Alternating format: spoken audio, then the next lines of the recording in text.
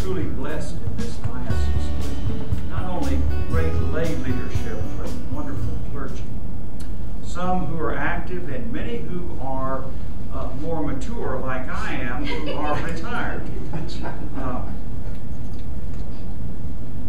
I think, as I remember, at the General Convention in 1973, the Commission on Ministry of the Episcopal Church was created it may have been 76, but that was a whole nother big time. Uh, when the Commission on Ministry was created, it in effect gave responsibility to clergy uh, and lay people the, uh, the responsibility to discern uh, if a person had a true calling to ordain ministry.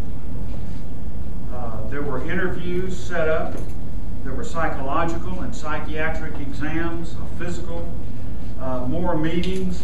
a parish discernment committee uh, was put in place to meet with this person, and uh, then they would finally meet with the bishop, and then they would continue on in this long, arduous process, which in fact is still in place today. Uh, I have been blessed. I wasn't going to. I was going to say cursed, but that's not right. I've been blessed to serve on Commission on Ministries for many years and interview men and women who have gone through the process because they felt called by Jesus to be a priest. Um, fortunately for me, when I visited with my rector and later with the bishop, that particular arduous, long, drawn out process, process was not in effect. uh, because if it had been, I'm not sure I would be standing before you today. But in 1962, uh, on a, on a hot August Saturday afternoon, um, I drove from my job uh, I got off at 11:30. Uh, I was working uh, in the summer during college as a mechanics helper for Halliburton, and I got in my car and drove to San Antonio and met with the bishop to interview with him. Uh, I didn't. I, I didn't have a chance to clean up very much, uh, and I and I. So I, I, I don't know what kind of condition I was in. I, that was too long ago. But I do I do remember meeting with Bishop Jones for an hour in San Antonio, and then going from there downtown to meet with the rector of the church, where I would become uh, uh, a postulant in that diocese. All this took place in an afternoon. Far cry from what it is today. Uh, and as I think about that, I remember that I talked to the bishop about what I perceived to the best of my ability, my, my ability to, to say to him why I thought I wanted to go in the ministry. And, and then I uh, met with the rector and, and pretty much became a postulant in that same day. And I was 21 years old. I was really mature. I verbalized, as I said, to the best of my ability, all of what I have shared with you it's not about Rayford. It leads into, I think, our, our Old Testament and our, our New Testament lesson. Among many things today in our scripture readings um, is that of calling. Uh, as an individual, what is God calling you to do? Not what is God called you to do, but what is God calling you to do? And what is God calling this congregation to do? Um, so let's remind ourselves of what uh, we heard in Exodus and what that message was then. The Old Testament reading offers another instance of what it means to follow God, uh, as Moses is called to be. Uh, remember when the ever increasing, and y'all can remember this, those of you who saw the movie The Ten Commandments. Um, and you remember how the story of Exodus goes, uh, there was that ever increasing number of Israelites in Egypt, and there was great fear, so they then made them slaves, and they were oppressed, and they called out to their God, and God heard them. Remember Moses, after being rescued as an infant from the Nile by Pharaoh's daughter, grew up in royalty, grew up in that household, and then saw the oppression of the of the Israelites by a, a soldier, a guard. And so Moses kills the guard and buries him. And then, out of fear, flees. I still remember Moses doing that as portrayed by Charlton Heston. and that that led Moses to flee um, to another part of, of, of, the world at that point. As Moses was tending his father-in-law Jethro's flock uh, in the wilderness near Mount Horeb, which is really Mount Sinai, his attention was caught by the sight of a bush that was burning yet not consumed. Now that would get your attention. Uh, first of all, a bush burning out in the wilderness.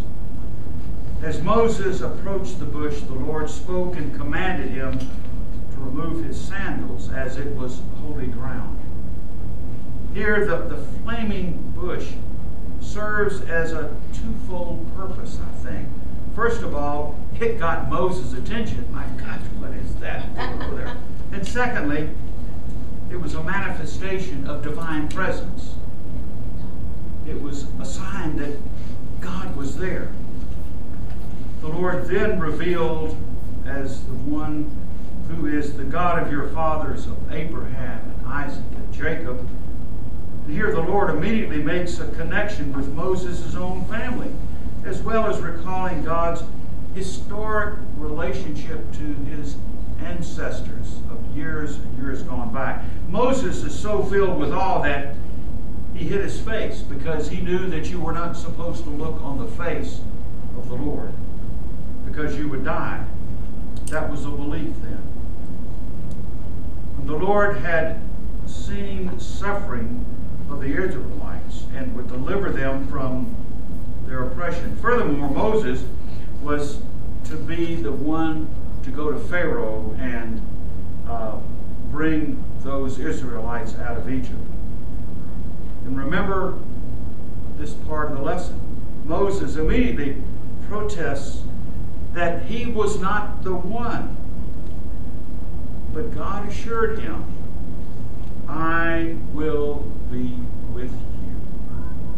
Moses continued to object, saying that no, no one would believe him because who is it that you you say sent you? I, I you know I don't know your name.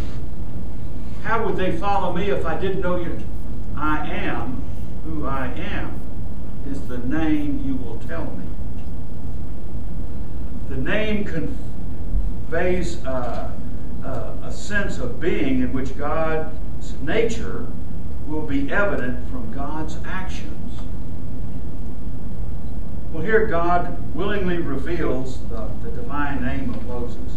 God listens to Moses and he establishes that relationship uh, that will continue between them. Now, God would act through and with Moses and bring about Israel's deliverance. That's a, that's a little synopsis, maybe more than you wanted to hear about that lesson. But now we shift to the gospel lesson where we have the beginning of the first of three passion predictions toward the end of this gospel by Jesus, where he tells his disciples that he will suffer and he'll be put to death. And immediately Peter rebukes him. No, this can't be. This is a new teaching of Jesus about suffering, and it shatters all of the, uh, the beliefs that Peter had of the preconceptions about messiahship. uh, there was not going to be any victory over the Romans. Uh, there was not going to be any glory uh, of beating them. What what is this? This is this is new teaching. This suffering, this suffering business. And you know, it was not too many days before that Jesus, who do people say that I am? And, and, and Peter jumps up and says, Hey, you're the Messiah. You know, and everybody was on board because he had he had identified Jesus. And then the next thing you know, uh, he doesn't know what he's talking about. I mean, I mean Peter. And we read Jesus' harshest words directed at one of his disciples. Get behind me, Satan. And I really think he said, You are a sorry stumbling block. Get behind. After this terrible confrontation and exchange of harsh words, Jesus goes on to describe what true discipleship is all about. These disciples were listening. Maybe he got their attention out of his a terrible anger about what Peter had said. First, those who wish to follow Jesus must deny themselves, take up their cross, and follow me. Whoever attempts to follow Jesus must exhibit, must demonstrate the same sacrificial love as Jesus did. Simply put, no one can follow Jesus as his disciple except through denying and dying, dying to self. Simply put, in my words, is Jesus the focus of the center of my life, or am I the center of my life? Do I do everything for me? To hold on to life in this world is to lose life eternally. Uh, to renounce life in this world is to gain what is everlasting. And that's an ongoing battle that each of us struggle with each day as we begin each day. What are we going to do this day? Is it all for me? Or is it, simply put, all for Jesus? I know that's simplistic, but when we say, is it all for Jesus? When Jesus went through life, he did things for other people. He loved other people. Do we do things each day as we love and reach out and take that love and offer it to other people, or we do everything for me? That's the beginning of understanding of discipleship. So for me, in our Old Testament and our New Testament readings, it points to calling, being an instrument of God and God's will and God's mission. In Exodus, Moses' life was going along well in Midian with his flock, with his family, with his children. God caught Moses' attention, though. Moses was told, he, Moses, was to deliver God's people out of slavery, out of Egypt. And Moses objects. Hey, I just want to be a shepherd. I want to mind my own business. I want to enjoy the fruits of my labor and my family. And you want me to do what? He is reassured, I will be with you and I am who I am has sent me to free my people. And Moses ultimately says, Yes, Lord. So when God calls us to a task, whatever that task may be, and that is after oftentimes uh, difficult to discern what God's calling us to do. God does the choosing and with the promise, I will be with you. so often we try to interpret what God, we think we know what God wants us to do. Because it's something we'd like to do. Uh, it's still about all about me, not about God and God's people. So we need to work and discern very hard what God is calling us to do. I bet each of us has felt inadequate in being called to do something. But as we go about the task, we are equipped. We are equipped. That's the way God, this God of ours works. Putting the finger on you to do something and then giving you the strength, the tools, and the wherewithal to carry it out. I so remember very well when I was elected bishop, and I felt so inadequate to do that. But I also believe that God's Holy Spirit worked through the church to call me to do that. And I also believe deeply that that there were things that I was going to be given that I didn't have that I needed for the job. And I believe that I have grown and I have matured into this. And I've seen that with people, lay and clergy, who were called to do something that they felt they couldn't do. But God gave them the strength to do it.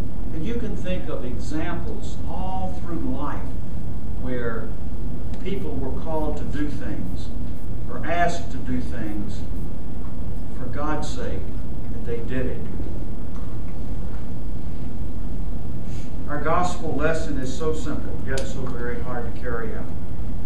Your life is to be centered in and around God as we know God through Jesus Christ. Yes, we are like Peter. Enthusiastic at times, and then we slip back into it's all about me.